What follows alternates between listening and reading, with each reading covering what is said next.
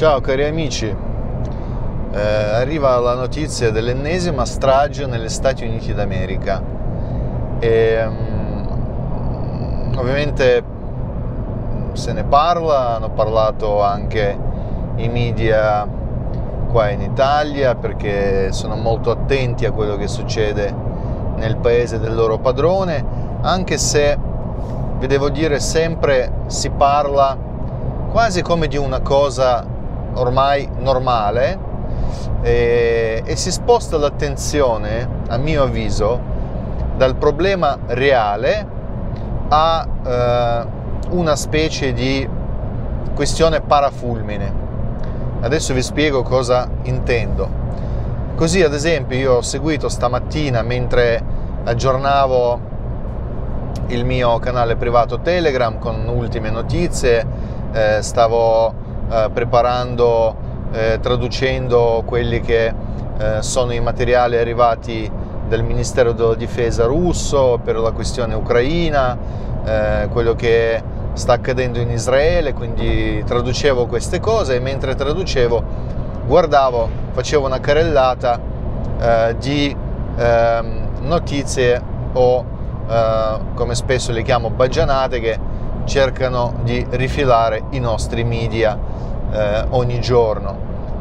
E ho trovato su diversi canali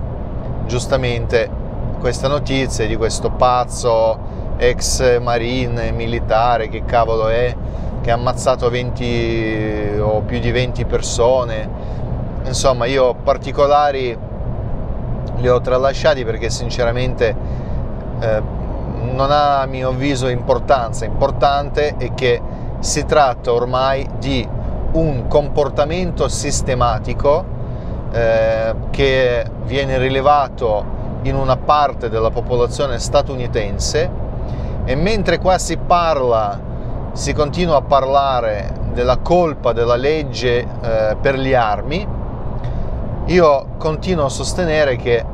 il, eh, la questione del, della legge delle armi, cioè il eh, eccessivo permissismo che c'è negli Stati Uniti d'America eh, nella questione di acquisto delle armi da fuoco e anche armi da guerra, perché in alcuni stati negli Stati Uniti d'America si può acquistare vere e proprie armi da guerra con uh, il regime full auto e così via. Problema non è questo, questa è una circostanza, cioè le armi è una circostanza. Il problema vero è la totale assenza dell'etica e della morale nella società statunitense. Gli Stati Uniti d'America è un paese dominato da Dio denaro, dove c'è un nichilismo eh, che è stato trasformato in una forma di eh, filosofia di vita, di eh, religione ufficiale. Cioè il paese dove mh, ormai da generazione le persone che nascono, che vengono al mondo e che vivono, non hanno delle basi culturali per poter sviluppare i sensi, i sentimenti umani, come ad esempio misericordia o altri importanti eh, sentimenti. E queste persone vengono mantenute in vita da un rigido sistema di consumismo, ovviamente tra varie persone, tra varie tipologie di mentalità, ci sono quelli eh, che all'interno di un meccanismo così disumano compiono gli atti estremi. E sicuramente in uh, queste situazioni il fatto che ci sono le armi facilmente acquistabili eh, diciamo, aumenta il pericolo. Però io sono sicuro che se non ci fossero le armi, eh, i eh, cittadini statunitensi ehm, sarebbero in grado di ammazzare eh, i propri concittadini utilizzando gli attrezzi eh, da eh, carpentiere, ad esempio, oppure da cucina eh, oppure ammazzare la gente a mani nude. Il problema non è nelle armi, le armi, sottolineo, è una circostanza. Il problema vero è nella totale assenza dell'umanità nel meccanismo statunitense. È un paese che esporta il proprio modello a suon di bombe in giro per il mondo, un paese che ha massacrato più esseri umani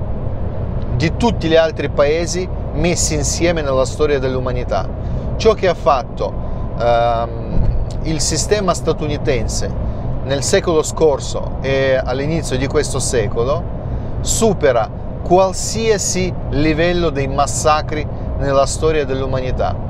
Cioè l'umanità non ha mai arrivato a un tale numero di massacrati, di persone massacrate, ma proprio eh, per il livello numerico, cioè eravamo molto di meno. All'inizio del secolo scorso eravamo un miliardo e 200 milioni, eh, verso la fine eh, eravamo già 7 miliardi, di più di 7 miliardi. E ovviamente eh, anche l'intensità della guerra, l'utilizzo delle armi, eh, i meccanismi di distruzione degli esseri umani eh, sono migliorati, aumentati ed è aumentata la capacità del sistema militare di distruggere eh, gli esseri umani e gli Stati Uniti d'America sono paese numero uno nella eh, esportazione di questo tipo di tecnologia e nell'applicazione di questo tipo di tecnologia in giro per il mondo. Quindi quando a me eh, parlano del fatto che l'ennesimo militare eh, statunitense svitato eh, perché è stato inserito in questo meccanismo eh, disumano eh, che si chiama l'esercito statunitense perché è stato sottoposto all'utilizzo eh, delle droghe perché sappiamo che la gran parte dei militari statunitensi si droga quando vanno nelle operazioni, quando vanno in guerra, questi si drogano. La stessa cosa tra l'altro commettono in Ucraina. Adesso la gran parte dei militari ucraini eh, si drogano, utilizzano metanfetamine e droghe eh, sintetiche, in effetti eh, in Ucraina è, è, nato anche proprio il modo di, eh, di questa questa gente, li chiamano i soldati di sale, sale perché loro prendono i sali, eh, i minerali, ehm, questa droga che assomiglia ai, mine- a, ai minerali. Eh, e io di recente ho pubblicato sul mio canale privato Telegram, tra l'altro chi è interessato chi vorrebbe approfondire le notizie che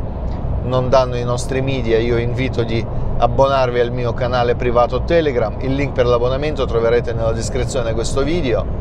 Comunque ho pubblicato un interessante eh, approfondimento che ha fatto una prostituta ucraina, pensate, una donna ucraina che si prostituisce, una giovane donna, eh, si vede che aveva, cioè, ha perso pazienza e ha fatto un video in cui ha denunciato il fatto che molti dei suoi clienti militari ucraini che tornano dalla prima linea e subito vanno ovviamente a eh, riempire quell'enorme vuoto eh, che si crea in guerra, cercano di riempirlo con alcol, droghe, con eh, prostitute, con questa vita eh, con questa finta di una vita piena di piacere, quando in realtà piacere e la felicità è un'altra cosa. Questo è un tentativo eh, veramente disperato di raggiungere piacere. Comunque questa prostituta ha fatto un approfondimento dicendo guardate, io mi sono stancata di questa gente, io i militari eh, non, li, eh, non li rispondo più neanche ai militari sui miei social, se cercano di... Ehm, entrare in contatto con me, io li blocco subito, io non voglio più lavorare con loro, io piuttosto lavoro con altre persone, ma eh, questi soldati di sale che arrivano eh, dal fronte e vengono qua da me e poi mi picchiano, mi maltrattano, ha raccontato che uno l'ha cercata di strangolare, un altro eh, l'ha picchiata, terzo l'ha tenuta terrorizzata tutta la notte eh, tra l'altro avevo un'arma da fuoco e um, ogni eh, tre minuti le arrivava e le metteva la pistola alla tempia e le minacciava di uccidere. Insomma, questa qua dice, ma io con gente così, con gente svitata, che poi non è uno, sono tutti così. Lei dice, io non ho trovato neanche uno sano. Tutti quelli che tornano da lì sono pieni di droga, ormai la mente è totalmente andata, il controllo non ce l'hanno e, si comportano in questo modo. Quindi questo è il modo di comportarsi che gli ucraini hanno preso non dall'esercito sovietico, perché nell'esercito sovietico non c'erano queste tecnologie di utilizzare le droghe, anfetamine, questi sali e queste schifezze. Lì al limite si, betteva, si, si beveva un bicchiere di vodka e si andava all'assalto, che è una cosa comunque insana, come tutta la guerra è insana, eh, però tra vodka e, e, la droga penso che la differenza è abissale. Comunque quella che è eh, oggi la problematica principale degli Stati Uniti d'America è che questo paese con il sistema che ha creato genera delle bestie che si comportano da bestie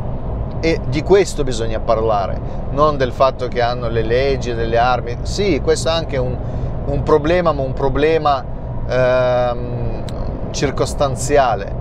Il primo e grande problema è che negli Stati Uniti d'America c'è un sistema che crea questi mostri, persone che uccidono altre persone deliberatamente. Eh, d'altronde cosa volete da un paese che eh, nella sua storia non ha fatto altro che stragi e ha massacrato tantissime persone innocenti in giro per il mondo e adesso sta facendo stessa cosa uh, in Ucraina, adesso ha cominciato anche in Israele, insomma, a mio avviso, tutta questa, tutto questo comportamento, tutto questo nichilismo uh, si ritorna negli Stati Uniti e punisce la società statunitense attraverso questi comportamenti di questi mostri, ammazzando persone innocenti, perché sottolineo qua si tratta di morte della gente che non ha fatto niente di grave, eh, non è una punizione per qualcosa, semplicemente azioni di eh, questa gente inferocita trasformata nei mostri da un sistema mostruoso. Carissimi, se volete approfondire, se volete magari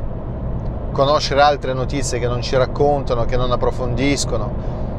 eh, trovare interessanti punti eh, per eh, ragionare, io vi invito di abbonarvi al mio canale privato Telegram. Il link per l'abbonamento troverete nella descrizione di questo video e io vi invito di informarvi perché adesso in questa situazione l'informazione è la vera rivoluzione. Se volete fare qualche gesto rivoluzionario iniziate da voi stessi informandovi al dovere perché senza informazione obiettiva, senza informazione a 360 gradi è impossibile creare la propria opinione. Amici, inoltre eh, vi ricordo se volete sostenermi qua su YouTube, eh, io vi invito ad iscrivervi al mio canale, commentare i miei video, condividere i miei video con i vostri amici e vi ricordo che in tutte le librerie d'Italia c'è il mio libro che si chiama La guerra e l'odio. Si tratta di un libro che eh, racconta le origini della guerra in Ucraina, quindi se siete interessati a questo argomento leggetelo e poi fatemi sapere cosa ne pensate. Vi mando un forte abbraccio e vi voglio bene.